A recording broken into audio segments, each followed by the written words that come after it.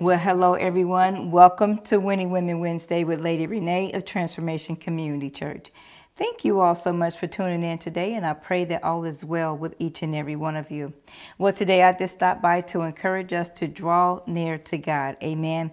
James 4 and 8 says, Draw near to God, and he will draw near to you. Cleanse your, your hearts, you sinners, and purify your, I'm sorry, cleanse your hands, you sinners, and purify your hearts, you double minded. Okay, so when we make the choice to draw near to God, the promise is that He would draw near to us. Amen. So getting closer to God can only happen, though, if we fully surrender and yield ourselves unto Him. Amen. Drawing nearer to God requires that we turn away from sin and repent. Amen. The Bible says, draw near to God, He would draw near to you. Cleanse your hands purify your hearts. Amen. So this reminds me of David, right? David is described as a man being after God's own heart, right? David desired to draw closer to God, right? Amen. Psalms 139 23 and 24 it says, "Search me, O God, and know my heart. Test me and know my anxieties, or another translation says, know my anxious thoughts. Amen. See if there's any wicked or offensive ways in me and lead me in the way everlasting, right? So check this out. Pay attention to the, re the request that the psalmist made in that passage of scripture, right? It says, Lord, search me, know my heart, try me or test me know my anxieties or know my thoughts, right? So he says, if there's any wicked or offensive ways in me, um, to it means to, you know to identify or reveal to me any sin that's in my life, any um, sin that's in my heart, anything that is of me, that's in me, that is not of you, reveal that to me, Father. And then it goes on to say, and then lead me, right? Lead me in your way, lead me in your righteous, lead me in the way that pleases you. Help, amen. Help me to walk righteous and um, in purity, amen. A way that's pleasing in the Lord's sight, amen. So I believe that we should all have this same prayer every day right? An everyday thing, right?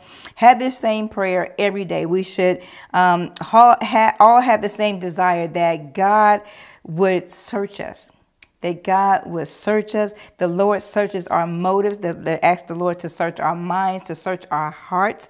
Amen. Our entire being. Amen. To remove everything that is not pleasing to Him. Amen. That is a daily ask. Amen. A daily prayer. Amen. We should all have this same desire that God would know our hearts, which He does, right? And that uh, He remove all impurities from our heart. David said, Created me a clean heart and renewed the right spirit within me. That is an everyday thing. Amen. And so, and ask God to cleanse us from idols and release us from all things that hurt us, you know, from all things that, that, that we may feel guilty or ashamed about from our past. Amen. At the Lord who the Son sets free is free indeed. Amen. And so we should pray and say, Lord, test me or try me, right? The Bible goes on to let us know that the testing of our faith that we can grow stronger, right? It lets us know that um, we can develop and become more mature Christians. Amen. And more mature soldiers of our Lord and Savior, Jesus Christ.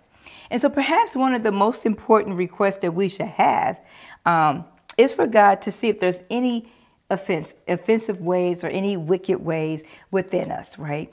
And that he may reveal all hidden sin that we um, that we uh, make excuses for that he revealed those things right? And to cleanse us and cut those things at the root and remove those things from us right? And once he has revealed it to us then we can pray again that the blood of the lamb the blood of our lord and savior jesus christ will cleanse us will purify us amen?